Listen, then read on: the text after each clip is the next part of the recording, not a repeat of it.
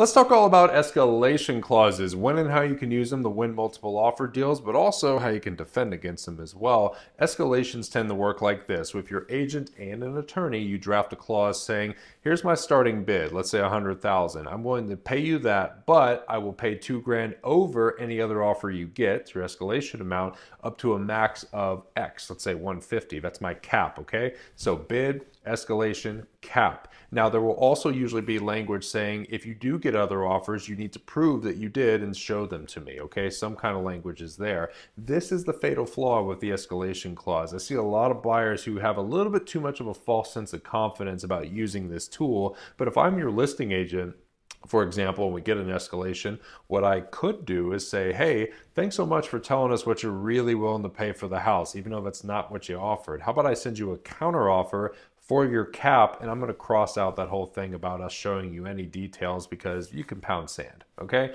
See how quickly we just got ourselves right back in the same old situation of what is this person really willing to pay? It's not that difficult to defend against these. So my advice to buyers out there is that these are great tools in the toolbox, but just remember clean offers usually win. You should always really focus on what am I truly willing and comfortable to pay for the home. We always want to get a better deal, but usually the winner is the one who gets the For more real estate tips, hit the follow button.